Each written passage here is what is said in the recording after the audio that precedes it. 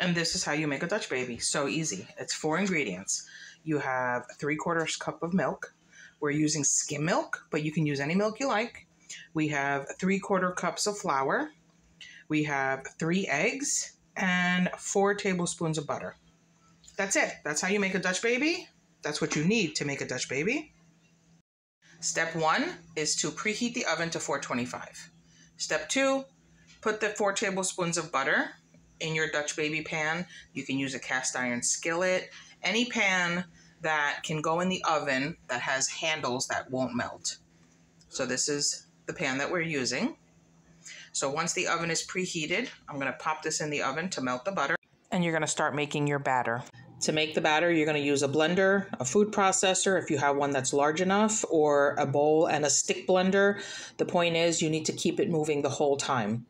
And the first step is you're going to add your three eggs, you're going to turn your blender on, and while the machine is still running, never turn it off. You're going to pour in the milk and you're going to let that blend. And then you're slowly going to add the flour one tablespoon at a time. You put the tablespoon in, let it blend a little bit, put another tablespoon spoon in, let it blend a little bit.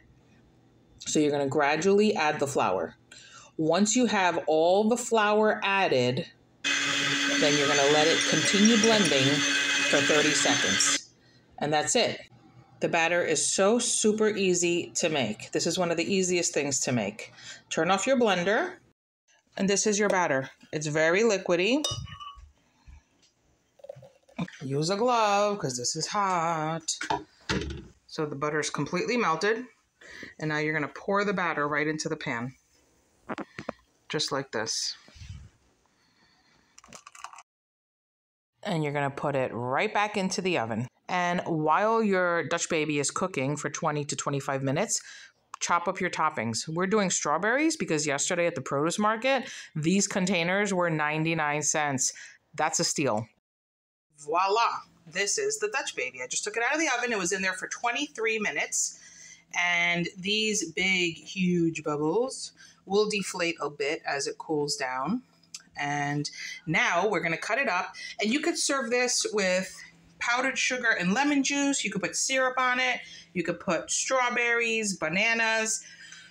We like it, depending on who you ask, different ways. So I'm going to serve it up the different ways that we eat it. And I will show you when it's ready.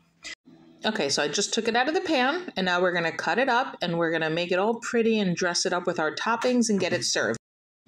And voila, breakfast is served.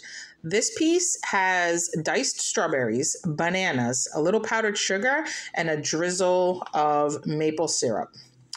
And this one has just powdered sugar and strawberries. No syrup, nothing else added to it. She likes it just like that. This one has a little powdered sugar, strawberries, and a squirt of lemon juice.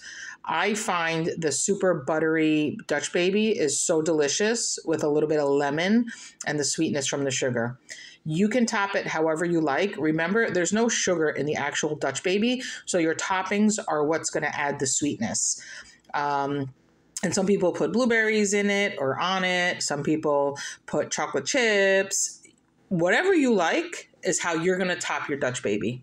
Um, but again, this is so easy to make, so easy to serve up, and you can easily, easily double the recipe and just make sure you have a four and a half quart to five quart pan, or you can even use a wok. As long as your wok has metal handles and it can go in the oven, you can use your wok if you have one to do this. Um, or you can just make two. If you have two pans, you can use your cast iron skillet and you can use a regular pan like I did no matter what, this is going to be a delicious breakfast. So I really hope you try it. Guys, this is so good. That Dutch baby is like eggy, but yet fluffy. Mm. Mm-mm-mm.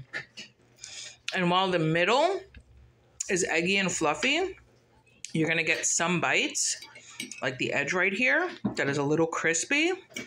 That is delicious too. Mmm. That is so good. Look at that. You see that? Look at that.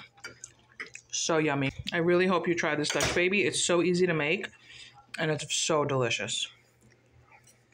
Mmm. Thanks for watching.